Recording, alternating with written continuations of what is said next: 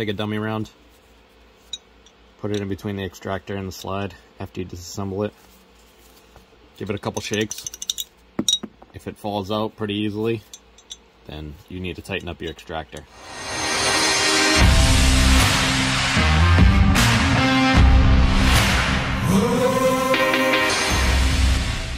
If it's too tight, then you'll also have issues feeding. So you gotta find that nice balance in between. Seems a little loose. So I'll tighten it up. Got the extractor out. Looks a little straight. Also, while you have that out, check your firing pin. Make sure that still has good length. Hit the primer.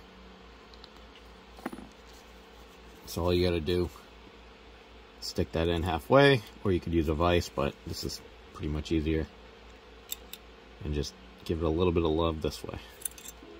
You can see now, I put a little bit of a curve in there. Now reassemble it and do that same check that I just did. So I got that reinstalled. Now I'm just gonna do that same check I did. I have a feeling it might be a little tight, but it's good because it's a little fine tuning error. Yeah, it feels a little bit tight, but it's grabbing it, so I might reassemble the gun and try to rack a couple rounds through, see if I can hand cycle them. If not, if that works, then I'll go outside and, and try to shoot some.